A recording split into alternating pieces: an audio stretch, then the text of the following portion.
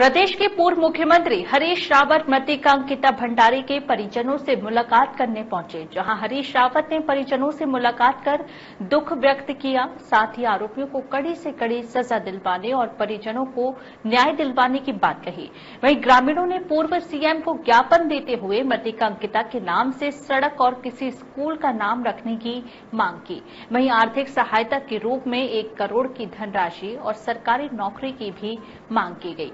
आपको बता दें कि सीएम के बयान जारी किया था, जहाँ उन्होंने बयान देते हुए कहा था कि आखिर कौन वो सफ़ेद पोष था जिसके लिए अंकिता पर दबाव बनाया जा रहा था?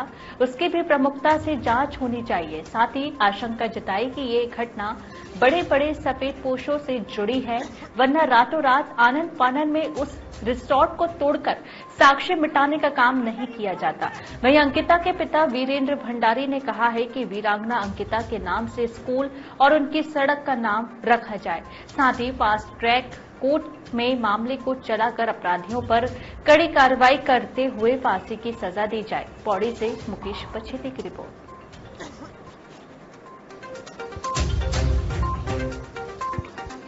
पूरा उत्तराखंड, पूरा देश, पूरी मानवता इस बात की मांग कर रही है कि ये रसूखदार व्यक्ति का बेटा जो है, जिसने हमारी संस्कृति को, हमारी इस देवभूमि की संस्कृति को कलंकित करने का प्रयास किया। एक बहादुर बेटी जिसने उसकी हवस का और उसके वीआईपी जिस गेस्टों का उसको एस्कॉर्ट करने के लिए अंकिता से कह रहा था उनकी हवस के सामने झुकने से इनकार कर दिया उसकी हत्या कर दी गई।